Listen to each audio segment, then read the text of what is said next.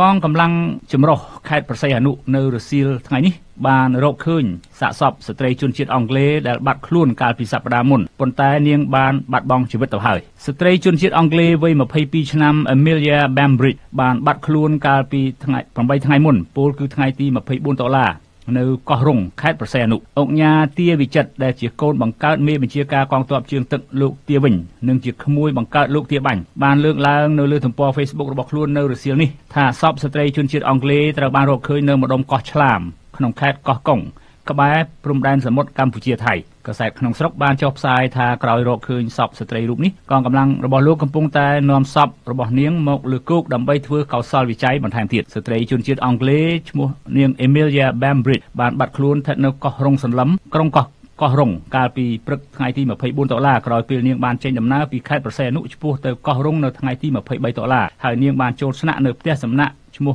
Ness Beach នៅម៉ោង8:15នាទីយប់ ក្នុងគោលបំណងទេសចររដ្ឋបាលសាលាខេត្តប្រសេនុបានអះអាងថាមុនបាត់ខ្លួនគេបានប្រទះឃើញនារីជនជាតិអង់គ្លេសរូបនេះលើកចុងក្រោយនៅម៉ោងជាង3ទៀបភ្លឺឈានចូលថ្ងៃទី24ខែតុលាឆ្នាំ2019ក្នុងពិធីជប់លៀងមួយនៅឆ្នេរកោះរុងឈ្មោះថា Police Beach ក្រោយមកក៏បាត់ដំណឹងតែម្ដងក្រោយមក ក្នុងការរុករកប្រមាណថ្ងៃមកនេះសមត្ថកិច្ចមូលដ្ឋានបានរកឃើញកាបូបនិងសម្ភារៈមួយចំនួនរបស់នាងនៅលើផ្ទាំងថ្មជាប់ឆ្នេរក្បែរកន្លែងធ្វើពិធីជប់លៀងនោះផងដែរ